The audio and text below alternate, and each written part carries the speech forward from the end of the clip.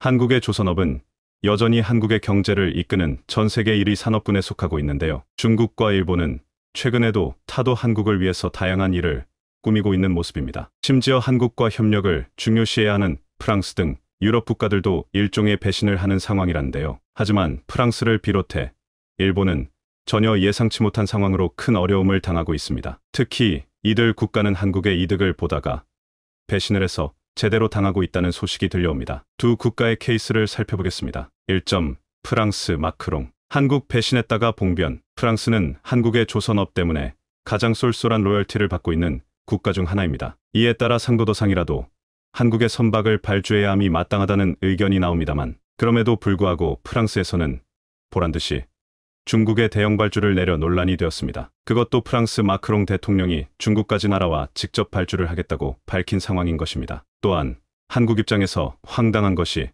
중국의 대형 발주를 한 것이 중국의 항공기 주문 때문이었습니다. 중국은 지금까지 거래하던 보잉에 주문을 안 하고 프랑스 에어버스 항공기 160대를 주문한 것이죠. 중국은 나름의 이유가 있었는데 미국이 반도체와 IRA 제재를 하니 이에 대한 반항이었습니다. 또한 프랑스도 중국과 경제협력을 가속화한 것이 미국의 호주 핵잠수함 뒤통수인 것도 있었습니다. 프랑스는 미국의 50조 원 잠수함 뒤통수를 맞고 중국은 미국의 끊임없는 압박을 받고 있으니 둘이 손을 잡고 우리끼리 잘해보자는 그러한 빅딜이 성립된 것으로 파악이 되고 있습니다. 하지만 문제는 프랑스에서 그에 대한 철충무역 형식으로 대형 컨선 16척을 중국에 단독 발주했다는 겁니다. 이는 4조 원 규모인데 공교롭게도 프랑스가 한국에서 벌어간 LNG, 화물창 로열티 금액과도 거의 일치합니다. 한국 조선업계는 LNG, 화물창 기술을 가지고 있는 프랑스의 GTT에 지금까지 4터부터 5조 원가량을 헌납했습니다. 세계 LNG 대형 운반선 수주를 휩쓸던 한국의 빅3가 한 척을 건조할 때마다 프랑스 GTT에 100억 원의 로열티를 지불해 왔다는 건 한국 조선업계에 해결해야 할 숙제나 다름없습니다. 그런데 그럼에도 불구하고 프랑스 마크롱 대통령은 중국과 밀월 관계를 가져가는 모습이 연출되었습니다. 하지만 이렇게 발주한 프랑스의 분명한 문제가 중국의 대량으로 제기되고 있는 컨선을 상황인데요. 중국에게 선물을 받았으니 보답으로 중국 컨선을 주문했지만 큰 문제가 따를 수 있다는 것입니다. 그리고 16대나 중국에 몰아줬는데 이것이 결국 프랑스의 큰 발목을 잡을 수 있다는데요. 이것은 미국과도 연결된 문제이기 때문에 프랑스는 엄청난 손해를 보게 된다는 의견도 나옵니다. 납품 기한, 미국의 제재, 그리고 최근 중국 컨테이너선과 선박에 잇따른 사고 소식을 순서대로 살펴봐야 하는데요. 우선 첫 번째로 프랑스는 중국의 컨테이너선을 발주했다가 번번이 납기 지연을 맞은 바 있습니다. 2020년이었죠. 당시 조선업계의 큰 뉴스는 프랑스가 LNG 추진 컨선을 발주했다가 크게 지연된 것이었습니다. 한국 컨선은 자신들보다 8개월이나 늦게 수주받았지만 오히려 중국보다 빠르게 컨선을 고객에 인도했으나 프랑스는 중국에서 아직도 배가 건조되지 않아서 발만 동동 구르고 있는 상황이 펼쳐진 것입니다. 프랑스의 CMA, CGM은 2017년 8월에 중국에 발주를 했으나 만기 후 9개월째 소식이 없었던 것이죠. 따라서 프랑스는 누구보다도 고질적인 중국 선박의 납기 지연 문제를 알고 있는 국가입니다만 정치적인 결정으로 인해서 한국을 제외하고 중국에 올인한 안타까운 모습을 보여준 것입니다. 이러한 납기 지연은 중국의 빈번한 문제이기도 하며 결정적으로 LNG 주진선의 퀄리티가 문제가 되죠. 실제 앞으로 문제는 미국의 번한 문제이기도 하며 중국이 접단 반도체를 받지 모아이아이가 문제가 되죠. 반도체와 선박이 무슨 상관이겠느냐 하겠습니다만 앞으로는 스마트 친환경 선박이 대세가 됩니다. 각종 환경 규제를 준수해야 하며 여러 가지 항법 장치 등이 최첨단으로 세팅된 선박이 대세를 이루게 되는데 이에 한국은 IMO 규격에 맞는 친환경 선박과 각종 접단 기능을 탑재한 선박을 납품하고 있는 추세입니다. 그런데 미국의 제재로 인해서 반도체 제한이 생기면 다양한 최신 기능이 선박에 탑재될 수가 없습니다. 몇 년 뒤 프랑스는 한국 선박에 비해서 크게 첨단 기능이 뒤떨어진 선박을 인도받게 될 가능성이 높습니다. 물론 한국의 도크가 3년간이나 거의 full로 예약되어 중국보다 인도가 늦어질 수 있다는 점이 있긴 하지만 업계에서는 결정적으로 최근 중국 조선소의 문제가 오히려 대량화와 부실화에 있다고 지적합니다. 한국에 밀린 물량을 중국에서 전부 소화하려다 보니 대량의 조선소에서 부실하게 건조될 수 있다는 겁니다. 실제 최근의 싱가포르 화물선 사고는 중국 선박의 품질에 대해서 의심할 수밖에 없는 상황이었는데요. Economy Next 등 스리랑카 언론과 외신에 따르면 인도 서부 하지라를 출항, 스리랑카 콜롬보를 거쳐 싱가포르로 향하던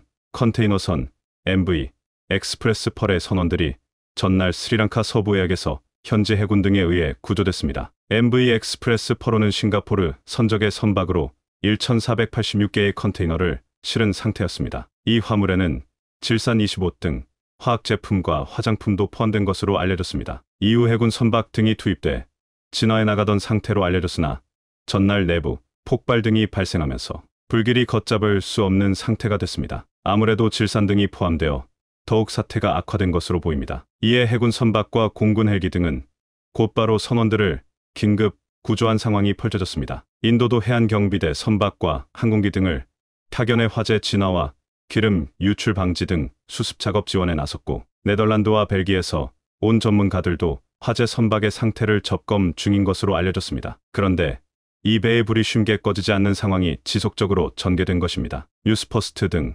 스리랑카 언론과 외신에 따르면 불이 나고 일주일이 지나도 불이 꺼지지 않았던 것입니다. 여러 대 선박이 둘러싸 해당 컨테이너선에 물대포를 쏘고 있고 헬기 등은 공중에서 연소 억제제를 뿌렸습니다. 여기서 그럼 이 배에서 왜 화재가 발생했는가에 대한 궁금증이 생기는데요. 현지 언론 News First에 따르면 화재 원인은 아직 정확하게 밝혀지지 않았는데 다만 News First는 선사 측 관계자를 인용해 MV X-Press Pearl호가 인도 서부 아라비아해를 지날 때 일부 화학물질의 포장 부실로 유출이 발생했다는 점을 선원이 발견했다고 보도했습니다. 선원들은 이후 인근 인도와 카타르의 항구에 해당 화물의 하역을 요청했지만 거절당했던 것입니다. 본래 이러한 화학물질을 항구에 쌓아둘 수는 없습니다. 자칫 큰 위험으로 발전될 수 있기 때문인데요. 작년 8월 레바논 베이루트의 질산, 암모늄, 폭발 사건도 화학물질 창고에서 발생한 것이라서 여러 나라에서 거부를 했으며 결국엔 선박에서 위험물질의 화재가 발생했던 것으로 보이고 있습니다. 하지만 중국 컨테이너선도 화재 발생 시 조기에 발견하고 대재할 만한 장치가 없던 것으로 보입니다. 애초에 선박에서는 화재 위험을 감지하면서 적절한 대처가 가능한 시스템이 지원되어야 하는 것이지만 중국 선박에는 이와 관련한 방지 시스템도 없었고 또한 내구성도 다소 의문이 제기된 것으로도 보입니다. 왜냐하면 결국 이 선박이 침몰하기 시작한 것인데요. 컨테이너선의 화재를 잡기 위해서 다양한 선박들이 계속해서 많은 양의 물을 퍼부었는데 그 과정 가운데 배의 내구성이 약해져 침몰한 것으로 보이기 때문입니다. 네덜란드, 인도 등의 다국적 선박은 각고의 노력 끝에 결국에는 화재 진압을 성공했지만 그동안에 배가 약해져 버려 침몰로 연결되어 버린 상황인 것입니다. 결국 침몰하는 과정에 컨테이너선 내부에 있던 각종 물질과 플라스틱이 계속 유출되는 상황이 나왔고 배에 실려 있는 연료가 바다에 유출되면서 스리랑카의 해변이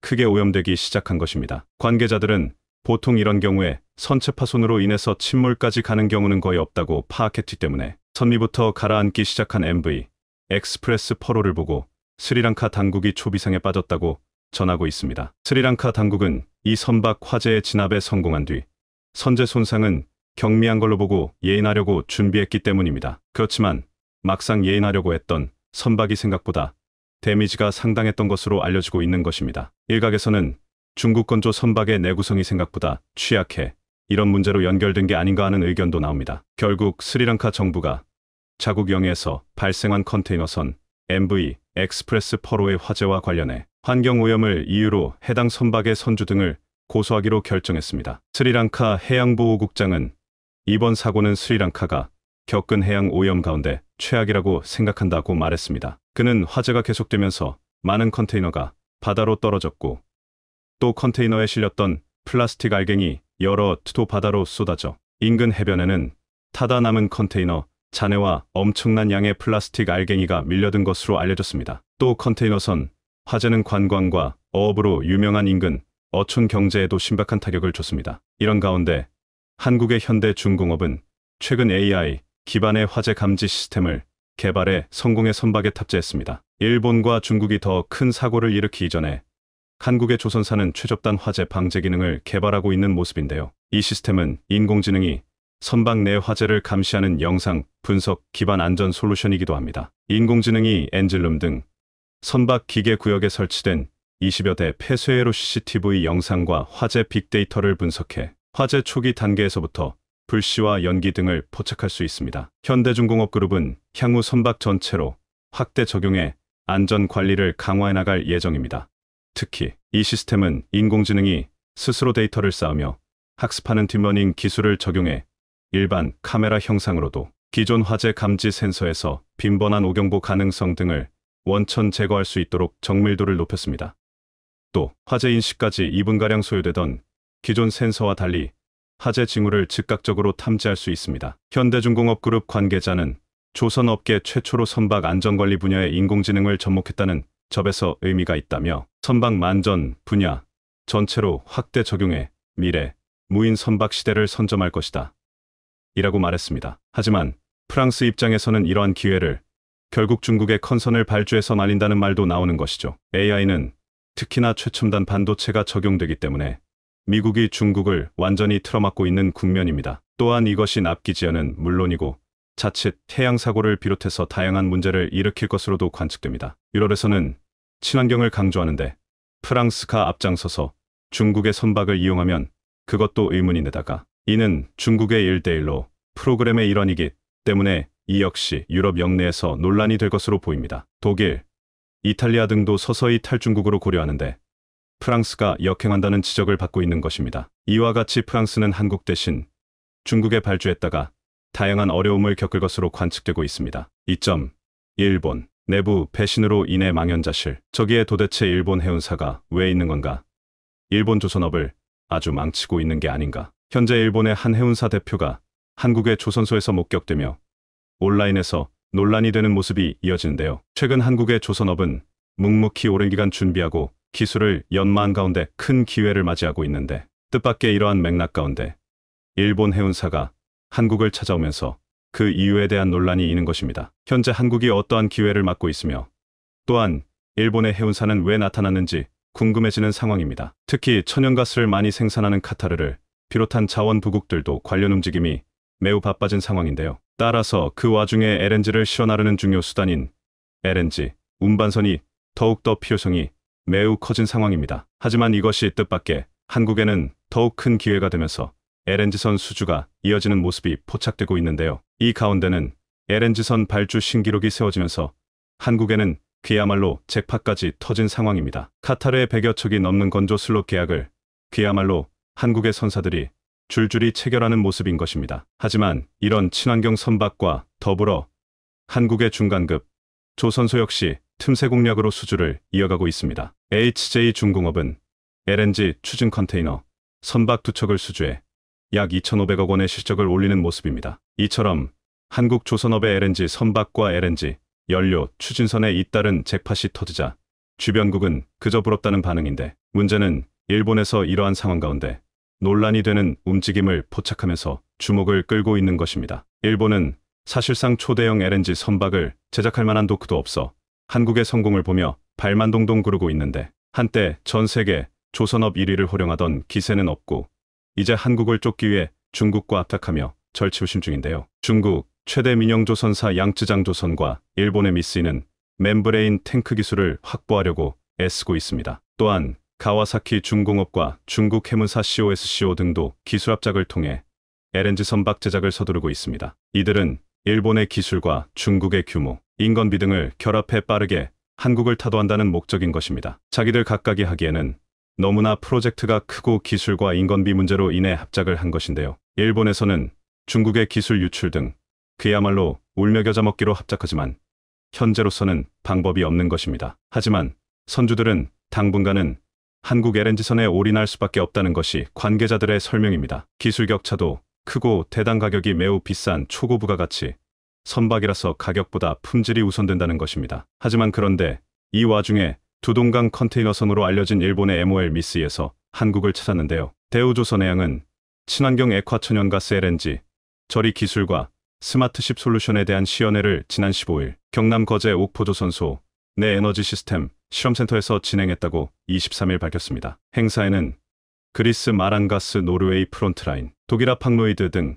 그야말로 큰 손 선주들이 모였습니다. 그리스 같은 경우는 대우조선해양에 오랫동안 주문을 해온 거대 선주라 해당 행사를 참여해왔고 이번엔 대우가 자체 개발한 LNG, 재액화 시스템, NRS의 성능을 선보이자 이를 참관하러 방문한 것입니다. NRS는 LNG, 운반선의 운영 효율을 높이는 핵심 장비로 질소를 냉매로 활용해 운항 중에 자연 증발하는 천연가스를 모아 다시 액체로 바꿔 저장하는 최신 기술입니다. 이러 기술을 선보이는 것은 LNG, 운반선이나 LNG, 주진 선박에 적용되는 기술들이 앞으로 친환경 조건을 만족해야 하며 신뢰할 수 있는 한국의 조선사들이 이를 입증하기 위함인 것입니다. 그런데 이러한 시연회에 일본의 미쓰이, MOL까지 참관해서 한국 선박에 대한 발주의향을 비춘 것입니다. 결국에는 일본 역시 어쩔 수 없이 한국의 LNG 관련 선박을 주문 넣는 모습이 연출된 것입니다. 특히 일본의 경우 자국 발주율 비율이 거의 100%에 달할 정도로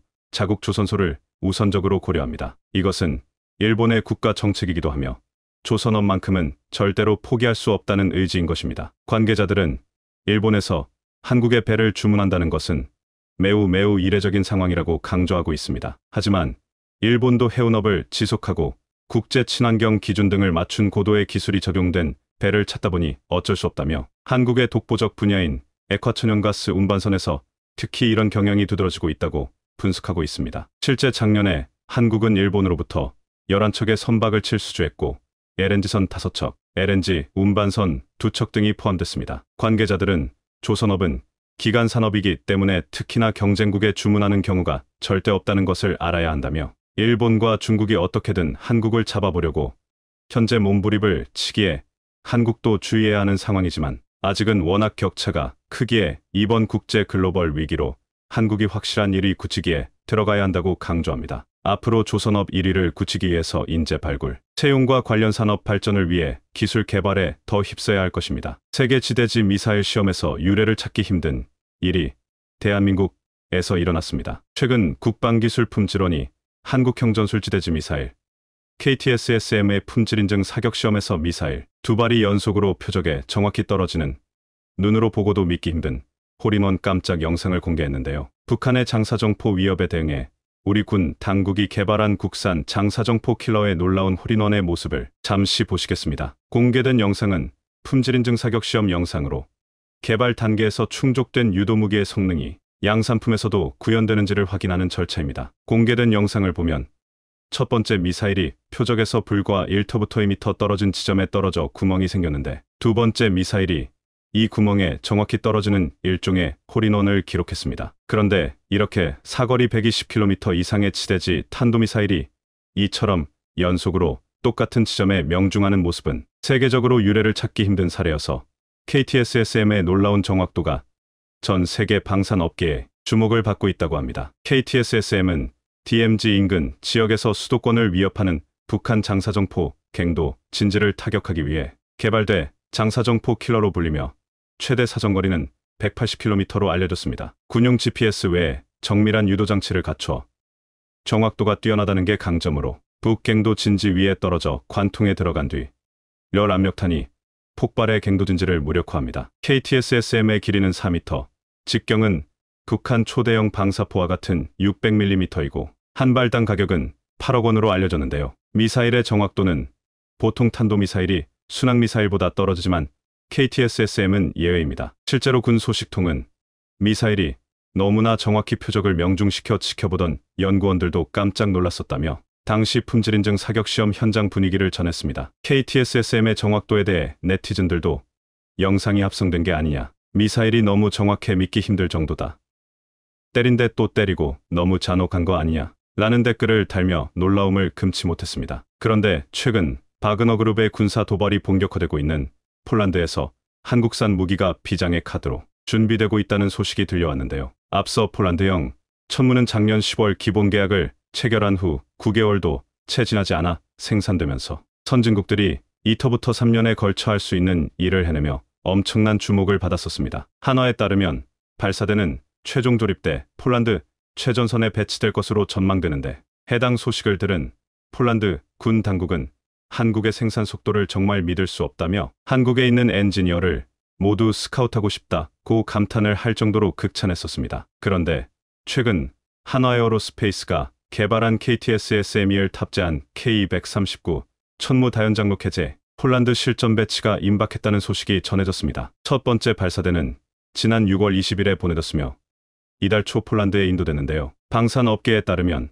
폴란드로 간 K239 천무는 이달 중 현지에서 성능 시연회를 가진 뒤 실전 배치될 예정으로 아연사단으로 불리는 폴란드 육군 제18기계화 사단에 배치됩니다. 제18기계화 사단은 벨라루스부터 슬로바키아 국경에 이르는 곳을 담당하고 있는 등 우크라이나와의 국경을 포함하는 핵심 지역입니다. 앞서 한화에어로스페이스는 지난달 20일 창원 공장에서 폴란드형 천무 초도 출고식을 갖고 두 발의 KTSSM이 전술탄도 미사일이 통합된 다연장 로켓 발사기를 선보였습니다. 폴란드 천무 발사대는 모듈 발표 후 폴란드의 옐츠 차량과 통합돼 호마르-K라는 이름으로 사용될 예정으로 최첨단 천무 발사대를 포함한 한화의 무기로 폴란드 군의 새로운 전투력을 확보하는데 혁혁한 공을 세울 것으로 기대되는데요. 그런데 최근 벨라루스 군이 폴란드 국경에 다가갔다가 한국의 최후병기를 발견하곤 이내 바로 소스라쳤다고 합니다. 다름 아닌 천무를 본 것으로 사실 천무는 최대 사거리 80km 미사일을 발사할 수 있는데 이번에 사거리 290km의 KTSSM이 가 탑재되면서 더욱더 강력한 무기로 진화했기 때문입니다. 실제로 현재 폴란드에서는 북한을 초토화시키려고 개발한 KTSSM이 에 대해 러시아 칼리닝그라드의 군사력을 잠재울 수 있는 무기라고 평가하고 있는데요. 여기에 더해 최근 바그너 그룹이 위치해 있는 벨라루스 국경제가 이 옆 지역으로 떠오르면서 이곳에 폴란드형 천무 KTSSM이 가 배치돼 벨라루스 군에게 엄청난 위협으로 다가올 것으로 보입니다. 그것도 그럴 것이 바그너 그룹이 현재 제일 걱정하고 있는 게 바로 미사일 공격으로 앞서 러시아 국방부 소속 군인들이 발사한 미사일에 자신들의 부대가 초토화됐었던 적이 있었기 때문입니다. 이런 이유로 우크라이나에서도 러시아에 대항하기 위해서 장거리 미사일이 꼭 필요하다고 수차례 밝히며 미국의 에이테크스 지원을 요청했었습니다. 에이테크스는 사거리가 305km에 이르러 우크라이나가 이를 손에 넣으면 러시아 병참기지나 사령부를 직접 타격할 수 있어 전장의 키가 될 것으로 기대됐지만 미국의 반응은 미지근했습니다. 이런 가운데 폴란드가 천무 288대를 계약한데 이어 여기에 KTSSME를 장착한다면 전장에 진정한 승자가 될 전망입니다. 이렇게 폴란드가 천무 KTSSME를 선택한 이유는 게임체인저가 될 수 있을 만큼 강력한 무기 체계로 주목받고 있기 때문인데요. 특히나 서방 진영에서 이런 장거리 유도미사일 체계를 생산할 수 있는 곳이 한국이 유일한 상황입니다. 실제로 한국은 천무를 활용한 다양한 탄두를 탑재한 미사일을 다수 가지고 있는데 제일 먼저 에이테크스와 함께 거론되고 있는 KTSSM가 있습니다. KTSSM의 특별함은 일반적인 고폭탄뿐 아니라 열압력탄을 탑재하는 방식이라는 점입니다. 열압력 탄두는 열과 압력으로 피해를 입히는 방식으로 파편이 거의 없어 구조물을 파괴시키는데 아주 효과적입니다. 이런 KTSSM은 엄청난 위력에도 불구하고 발당 8억 원으로 가성비가 매우 훌륭한 것으로 전해집니다. 여기서 KTSSM과 현무이 탄도미사일과의 차이가 어떤 것인지 궁금하실 텐데요. 사실 KTSSM과 현무이는 탄도탄이라는 점만 같을 뿐 임무와 개발 방향이 완전히 다른 미사일입니다. 우선 현무이 미사일은 육군 미사일 전략사령부의 지휘 아래 적 지휘 통제 시설 미사일 기지와 같은 고가치 표적을 노리는 미사일로 우리 군의 중요 자산 중 하나입니다. 이런 이유로 개발, 양산, 개량 사업이 모두 성능 개량 사업이라는 이름하에 진행되고 있으며 장착된 GPS 칩도 보안을 위해 군용 GPS보다는 보편적으로 손쉽게 구할 수 있는 상용 GPS를 장착했습니다. 이에 반해 KTSSM은 군대 화력전에 동원돼 적의 숨은 진지를 무너뜨리고 군단 작전 범위 내에 적 중심을 타격하는 미사일로 포병에서 운용하는 MLRS 천무와 함께 운용됩니다. 이렇게 현무이와는 임무가 완전히 다르기에 KTSSM은 개발 및 양산 예산과 일정이 모두 외부에 노출돼 있으며 군용 GPS 칩을 장착한 게 특징입니다. 다시 말해서 미국 등 국제적인 압박을 피하고 가격, 부담 없이 지속적인 공격을 가할 수 있는 장거리 화력 체계가 바로 KTSSM으로 폴란드에서 택한 전략적인 이유가 있었던 겁니다. 그런데 최근 폴란드 덕분에 KTSSM이 등장이 앞당겨졌다고 하는데요. 실제로 한국은 KTSSM 배치라고 물리는 고성능 관통 탄두를 가진 파생형을 개발하고 있는 중인데 KTSSM 배치보다 강화된 화력과 늘어난 사거리를 자랑하는 게 특징입니다. 폴란드와 공동 개발하고 현지 생산하는 방식으로 수출형 KTSSM을 생산할 예정으로 폴란드의 강력한 요구로 원래 계획보다 4년 앞당겨져 2030년이면 등장할 전망입니다. 앞서 폴란드는 러시아 이스칸데르에 대응하고자 패트리어트 PAC-3MSE 지대공 미사일을 도입하는 동시에 ATACMS 같은 지대지 전술 탄도미사일을 도입하려 했지만 규제로 인해 난관에 부딪혔었습니다. 그런데 마침 이때 폴란드 눈에 한국형 ATACMS KTSSM이 들어왔고 K239 천무 다연장 로켓포에 탑재가 가능한 형태로 개발될 예정이라는 소식도 함께 접하게 된 겁니다. 그리고 얼마 지나지 않아 폴란드는 천무 도입을 결정하면서 한국형 전술지대지 탄도미사일 KTSSM에 본격적인 투자들 결정하게 됩니다. 방산업계에 따르면 폴란드의 이 같은 결정에 한국은 기존의 400mm KTSSME를 개량해 KTSSME를 만드는 대신 600mm 구경의 신형 건술 탄도미사일을 별도로 개발하는 쪽으로 KTSSME 사업의 방향을 완전히 들었는데요. 다시 말해서 KTSSME의 사거리가 에이테킴스와 동일한 600mm 구경으로 개발되면서 직접적인 경쟁 관계에 놓이게 될 가능성 또한 높아졌습니다. 이들 위해 앞서 3월 우리 군은 KTSSME 체계 개발 기본 계획을 수립하는 등 2030년 전력화를 위해 단계별로 척척 진행 중인데요. 방사청에 따르면 KTSSME는 기동성과 은닉성에 따른 운용요원들의 생존 가능성이 더 커질 것으로 보입니다. KTSSM 이는 400mm 구경의 사거리가 180km 수준이었던 KTSSM1보다 구경을 키우고 사거리를 더 늘릴 계획으로 군 안팎에서는 KTSSM2 개발 완료 시점엔 최대 사거리가 300km가 넘어갈 것으로 보고 있습니다. 그리고 드디어 지난 5월에 KTSSM 사격 시험이 성공적으로 이뤄지면서 연구개발 단계에서 충족된 국산 유도무기 성능이 대량 생산 단계에서도 통일하게 구현되는지 확인되는데요. 국방기술 품질원에 따르면 KTSSM은 발사 직후 목표 지점의 명중의 품질을 입증했는데 이번 사격 시험 성공으로 조만간 KTSSM 양산에 본격적으로 돌입한다는 계획입니다. 상황이 이러자 증권가에서는 하나에어로스페이스의 실적은 K9 자주포가 깔고 천무와 KTSSM이 성장 동력을 만들어낼 거라는 분석을 내놓았는데요. 특히 천무는 사거리를 늘린 KTSSM2 개발이 완료될 경우 수출 경쟁력이 한층 높아질 것이란 관측입니다. 특히나 폴란드의 천무 KTSSM이 도입 소식으로 다른 동유럽 국가들이 연이어 천무 도입에 나설 실제로 방산업계에서는 폴란드 현지에서 기술 도입, 생산에 돌입하면 옛 소련의 다연장 로켓 무기를 운용하는 동유럽 국가들을 중심으로 천무에 큰 관심을 보일 거란 분석입니다. K9 자주포에 이어 유럽 포병무기 시장에 천무가 주인공으로 떠오를지 기대해 보겠습니다. 한국의 K 전차와 K9 자주포가 루마니아에 시급하다.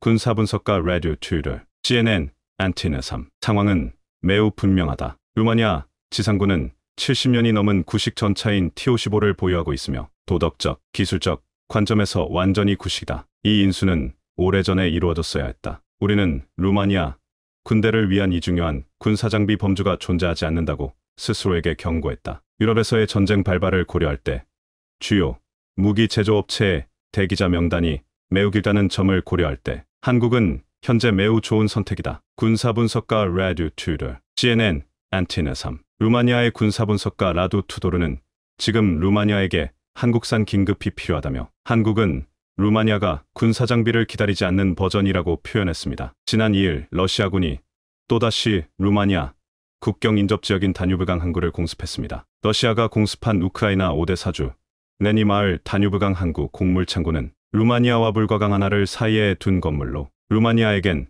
상당히 위협적이었습니다. 이곳은 러시아가 흑해 곡물 수출 협정을 파기한 후 우크라이나가 곡물을 수출할 수 있었던 유일한 통로였으나 이를 파괴하면서 우크라이나의 곡물 수출을 완전히 봉쇄하려 하고 있습니다. 그런데 다뉴브항이 나토 회원국인 루마니아 국경과 접해 있는 만큼 이곳에서 러시아와 나토와의 충돌 가능성이 크게 제기되고 있습니다. 글라우스 요하니스 루마니아 대통령은 트위터로 러시아가 루마니아와 인접한 다뉴브강의 우크라이나 민간 기반 시설을 지속적으로 공격하는 것은 용납할 수 없다면서 그것은 전쟁 범죄이고 도움이 필요한 사람들에게 식량을 공급하는 우크라이나의 능력에 더욱 영향을 미친다고 비난했습니다. 루마니아 국방부는 긴급히 국경 지역에서 강화된 경계 태세를 유지하고 있다라고 강조했는데 러시아에서는 이번 공격이 우크라이나 경제에 타격을 입히고 서방의 무기 인도를 막아내는데 일조했다고 주장하고 있습니다. 그동안 러시아는 나토 동맹국의 영토와 지나치게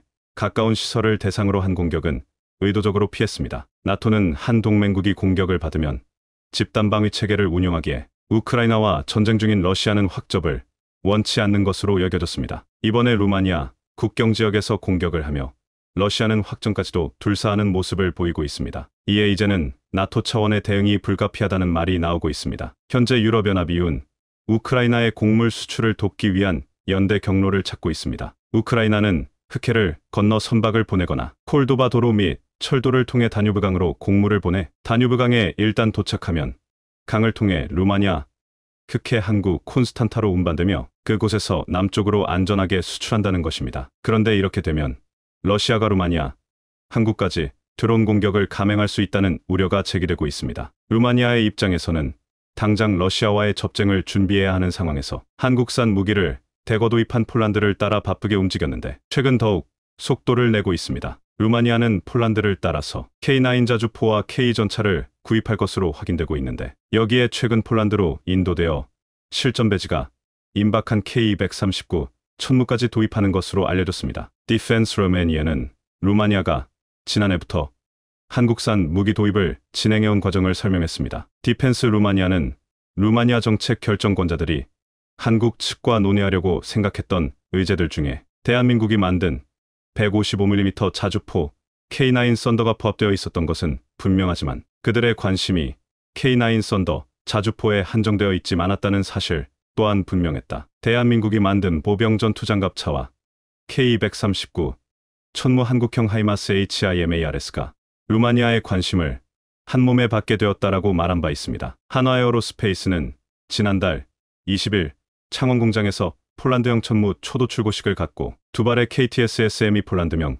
우리오이 전술탄도 미사일이 통합된 다연장 로켓 발사기를 선보였습니다. KTS-SM이는 사거리를 80km에서 290km로 늘린 미사일로 폴란드의 대량 수주로 인해 예정된 개발 기간을 엄청난 속도로 축소하고 이미 개발이 끝난 것으로 알려지고 있습니다. 이것은 이제 천무를 실전 배치를 앞둔 폴란드에게 굉장히 반가운 소식이었지만 폴란드와 함께 천무 도입을 협의하고 있는 루마니아도 흥분을 감출 수 없는 뉴스였습니다. 현재 KTS-SM 와 같은 장거리 미사일이 우크라이나 전쟁에서 게임 체인저로 여겨지고 있습니다. 개전 초부터 정밀유도 로켓인 고속기동 포병 로켓 시스템 하이마스가 엄청난 공을 세우고 있는데 지난 2일 우크라이나군이 러시아가 점령한 헤르손 지역 자립가섬에서 총 5개의 러시아군 보병 분대를 정밀하게 조준 공격해 초토화시켰습니다. 우크라이나 측은 하이마스로 해당 지역에 주둔한 약 200명 모두가 전멸했다고 주장했습니다. 사거리 80km의 정밀유도 로켓 하이마스가 전쟁에서 엄청난 위력을 발휘하자 우크라이나는 미국에게 사거리 300km의 장거리 미사일 에이테크스를 계속적으로 요청했습니다. 하지만 미국은 확전을 우려해서 아직까지 줄 수 없다고 버티고 있습니다. 일각에서는 중국을 의식하고 대만 유사시 쓰려고 비축하고 있다고 했습니다. 이에 지금 영국이 준 사거리 250km의 스톰세도운 공대지 순항 미사일을 우크라이나가 요긴하게 쓰고 있는데 현재 점령 지역을 두텁게 방어하고 있는 러시아에게 가장 무서운 무기가 되고 있습니다. 우크라이나는 영국으로부터 스톰 섀도를 인도받은 후 이 무기를 옛 소련제 수호의 전투기에 탑재해 그동안 공격력이 닿지 않던 우크라이나 동부 및 남부의 러시아 점령지 주요 시설들을 타격하는 데 사용하고 있습니다. 지난 6월 22일 우크라이나 남부 헤르손주와 크림반도를 잇는 촌가르 교량을 공격할 때도 톰시에도 미사일을 사용한 것으로 파악되었습니다. 촌가르 교탕은 6일에도 또다시 미사일 공격을 받았는데 러시아가 임명한 헤르손주 수반 블라디미르 살도는 스톰 섀도 미사일이 촌가르 다리를 공격했다라고 주장하기도 했습니다. 또한 지난달 12일 자포리자주 남부 러시아 점령지 베르단스크에 있는 러시아 군 지도부 숙소 호텔에 우크라이나군이 스톰 섀도 미사일로 공격해 완전히 파괴시킨 바 있습니다. 당시 여기에 있었던 러시아 초코프 중장은 푸틴과 굉장히 친한 군 고위 관계자였는데 푸틴은 순식간에 가장 아끼는 지휘관을 잃었습니다. 이 사건 이후 장거리를 타격할 수 있는 미사일이 크게 주목을 받고 있는데 당장 폴란드가 사거리 290km의 KTS-SME를 천무에 달아 배치하고 루마니아도 이를 도입해 배치한다면 러시아의 공격을 억제하는데 큰 전력이 될 것으로 보이고 있습니다. 루마니아가 처음으로 한국산 무기 도입에 시동을 건 것은 K9 자주포였습니다. 한국은 세계 최고라 불리는 K9 자주포를 루마니아에게 빨리 받고 싶으면 한국에서 생산해주고 그렇지 않으면 루마니아 현지에서 생산할 수 있다고 제시했습니다. 현재 쓸 수 있는 자주포가 단대도 없는 루마니아의 입장에서는 K9 자주포를 받을 수 있는 것만도 대단한 일이었는데 한국은 두 가지 매력적인 옵션까지 제공하며 그들을 놀라게 했습니다. 지금 루마니아에서는 자주포 없는 군대에게 세계 최강 한국산 자주포 K9을 빨리 받을 수 있다는데 흥분하며 한국이 있어서 다행이다라는 말까지 나오고 있습니다. 루마니아의 군사 분석가 라두 두도르는 한국의 존재가 얼마나 대단한지를 루마니아 매체 DCNEWS와의 인터뷰에서 이렇게 말했습니다. 우리는 한국이 1960년대와 1970년대에 미국 아이센스를 기반으로 모든 기술 라인을 구축했다는 것을 잘 알고 있습니다. 이 나라가 성과를 낼 수 있다는 증거입니다. 한국의 대기업은 자동차, 탱크, 장갑차를 만듭니다. 현재로서는 좋은 선택이라고 생각합니다. 우리가 다른 나라를 선택했다면 5토부터 6년을 기다렸을 것입니다. 더 이상 기다릴 수 없습니다. 루마니아는 20년 전에 이 조치를 취했어야 했습니다. 우리는 군사 장비가 시급히 필요합니다. 투르다, 포크사니 등의 부대가 가능한 한 빨리 현대식 나토 호환 탱크의 혜택을 받아 루마니아가 동맹국으로서의 지위를 존중받는 것이 중요합니다. 연대하고 우리를 보호하고 우리의 의무는 우리의 방어를 강화하고 어떤 적을 제재할 수 있는 충분한 힘이 되는 것입니다. 루마니아는 러시아의 우크라이나 침공 이후 국방 예산을 GDP 0.5% 수준으로 높이고 무기 구입에 국방 예산의 40%인 3조 원을 쓰려고 하고 있습니다. 또한 향후 군사력 증강을 위해 국방비를 GDP 대비 3%대 이상으로 확대하겠다고 했습니다. 이렇게 증강된 국방비는 주로 한국산 무기 구입에 쓰이게 될 전망입니다. 루마니아는 지금 K9 자주포, K2전차, K230 부총문, 레드백 등 한국산 무기를 대거 도입해 제2의 폴란드 되려 하고 있습니다. 20년 안에 또 하나의 팬데믹이 세계를 덮친다.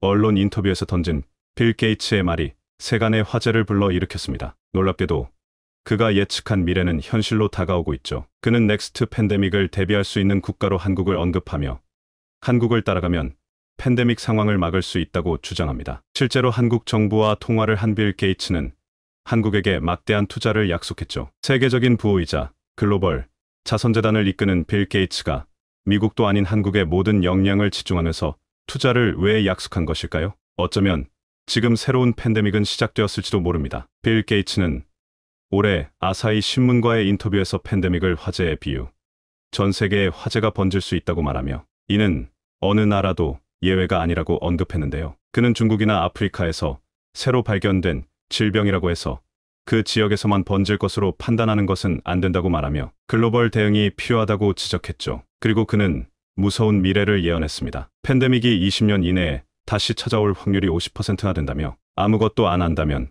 코로나로부터 인류는 어떠한 교훈을 얻지 못한 것이라고 일갈했죠. 그러면서 빌 게이츠는 미래 팬데믹 후보로 천연두를 꼽았는데요. 놀랍게도 너무나 흡사한 새로운 전염병이 코로나가 끝나기도 전에 등장했습니다. 바로 원숭이 두창입니다. WHO는 원숭이 두창의 발병에 대해 이례적인 속도라 답하며 증상이 있거나 의심이 되는 환자는 즉시 격리 조치를 취하고 외부의 도움을 받을 것을 권고하는 모습으로 바뀌었죠. 코로나 때보다 기민하게 움직였지만 여전히 늑장 대응을 보였습니다. 다른 국가들도 마찬가지였죠. 영국에서는 원숭이 두창 환자에 대해 동성애자들 사이에서 감염이 확산되고 있다며 마치 이성애자들은 걸리지 않을 것처럼 오인될 만한 정보를 일반 시민들에게 알렸죠. 그 결과 원숭이 두창은 빠른 시간 유럽은 물론이고 미국과 아시아 등지에 확산되었습니다. 알고 보니 원숭이 두창은 남녀노소 누구든지 걸릴 수 있는 질병이었고 코로나처럼 인류를 이협하는 질병이 되었습니다. 테드로스 아드아놈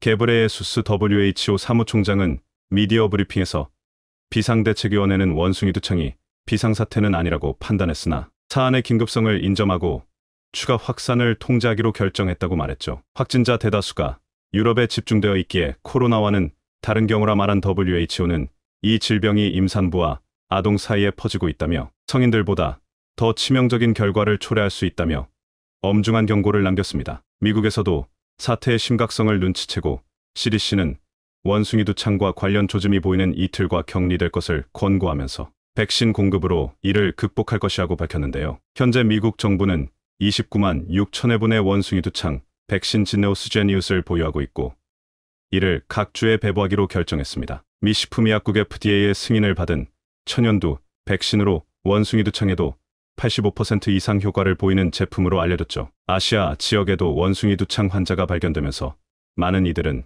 빌 게이츠의 놀라운 예측에 감탄하며 그가 제시한 팬데믹 예방법을 주시했죠. 빌 게이츠는 자신의 저서 next 팬데믹을 대비하는 법을 통해 팬데믹 상황에서 이를 잘 대처하는 방법을 제시했습니다. 그는 코로나 시기 여러 국가의 대처를 보면서 다음에 찾아올 팬데믹에 대처할 여러 아이디어를 얻었다고 하는데요. 그 중에서도 한국의 놀라운 성과에 빌 게이츠는 주목했다고 합니다. 한국이 처방한 방법은 코로나 시기 시민들의 안전을 보장할 수 있는 방법이었고 다른 팬데믹 상황에서도 똑같이 적용될 수 있는 방법이었죠. 한국이 사용한 방법은 그가 팬데믹을 대비해서 각 국가가 대비해야 하는 정책과 정확하게 일치합니다. 사실 책 대부분의 아이디어를 한국에게서 얻었다고 해도 과언이 아니죠. 그는 저서에서 방역과 철저한 역학 조사, 그리고 민주적인 정부와 투명한 정보 공개로 팬데믹을 관리할 수 있다고 바라봤습니다. 코로나 초기 일을 성공적으로 수행할 수 있는 국가가 미국이 될 것이라고 생각했지만 미국은 그의 기대를 배반했다고 표현합니다. 트럼프 행정부는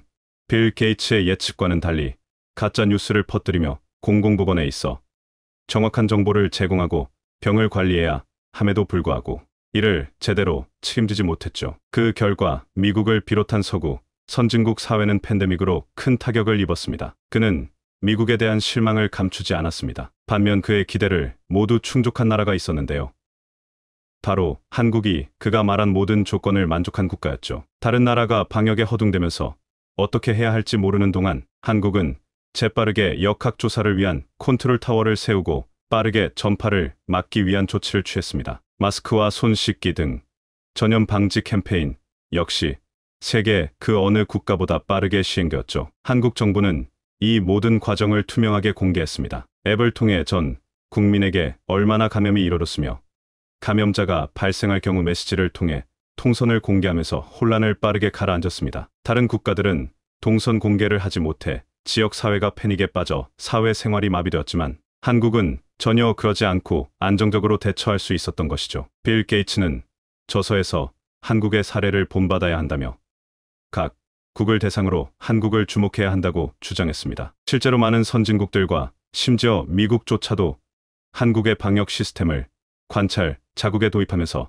전염을 낮출 수 있었죠. 그는 한국을 보면서 한국인들이 정부를 신뢰하고 있다는 것을 관할 팬데믹 상황 속에서 정부를 신뢰하는 국민이 많을수록 질병 전파가 더딘 것을 확인할 수 있었다고 하는데요. 투명한 정보 공개로 신뢰를 얻은 한국은 정확하게 이 사례에 맞다고 설명했죠. 그리고 그는 책에서 주장하는 핵심적인 아이디어를 한국처럼 초기 대응을 잘한 국가들에게서 얻을 수 있었습니다. 바로 글로벌 조직인 글로벌 전염병 대응동원 팀 GRM의 존재입니다. 그는 저서에서 팬데믹을 종합적으로 관리할 세계 조직의 필요성을 강조하는데요. 세계보건기구의 관리를 받고 세계은행과의 협력으로 자금을 빠르게 조달하는 GRM이 존재했다면 지금과 같이 빠르게 확산된 팬데믹은 존재하지 않았을 것이라고 주장했죠. 한국이 컨트롤 타워를 빨리 세우고 강력한 정책으로 환자들을 철저하게 관리 및 추적한 것에서 착안한 조직이죠. 이번 원숭이 두창도 GRM이 있었다면 대비할 수 있었을 것이라며 빌 게이츠는 안타까워하는 마음을 감추지 못했다고 하는데요. 책에서 주장한 내용을 직접 실천에 옮기고자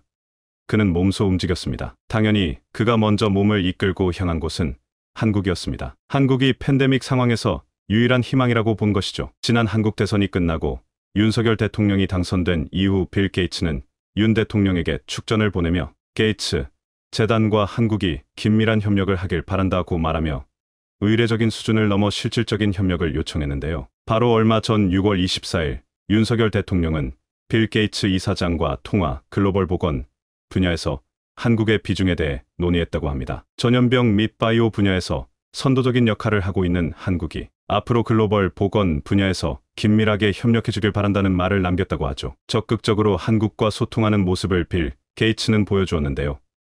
실제로 한국이 바이오 분야에서 거둔 성취는 놀라운 수준입니다. 최근 SK바이오 사이언스는 코로나 백신을 개발하는데 성공했는데요. 코로나 치료제인 렉키로나주와 백신인 스카이코비온 멀티주를 자체 개발 완제 생산이 가능한 국가로 발돋움하게 되었습니다. 자체 기술로 이 모든 것이 가능한 국가는 미국, 영국, 그리고 한국밖에 없습니다. 블룸버그 통신이 최근 공개한 코로나 회복력 순위에서도 한국은 1위를 기록하며 전 세계 국가들 가운데서 놀라운 성장세를 보인 것으로 조사되었습니다. 2020년 11월부터 공개된 코로나 회복력 순위는 올해 6월이 마지막 공개되는 자료로 이번 마지막 공개에서 한국이 1위를 거두며 전 세계적으로 팬데믹 상황에서 얼마나 잘 대처하고 마무리한지를 여실히 증명했습니다. 다시 말해 한국은 신뢰와 결속이 매우 강한 사회라는 것을 증명해 다른 국가들의 모범, 국가로 공식 민증을 받았다는 소리입니다. 빌 게이츠가 한국을 중심으로 전염병 대책을 짠다고 해도